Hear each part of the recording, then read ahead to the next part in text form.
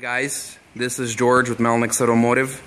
Here I'll show you how we properly wet sand and buff hood from 2014 Honda Accord. Uh, you might wonder how in the world body shops come up with these great paint jobs that look like glass. Well, this is the process, um, A through Z.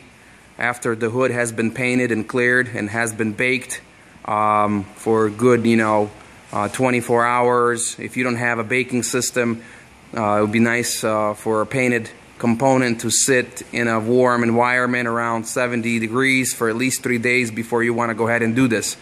Um, uh, here I got my man Roman. Uh, he's sanding with uh, 2000 with soap and water. You want to go ahead and sand it flat to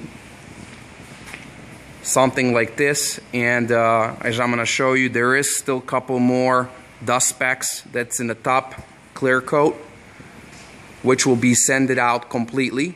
And then uh, I'll show you in our part 2 video how we're going to use uh, rubbing compound 1, 2 and 3 to get it uh, back to its original shine and it's going to look like glass with no dust specks or anything, any imperfections in the paint.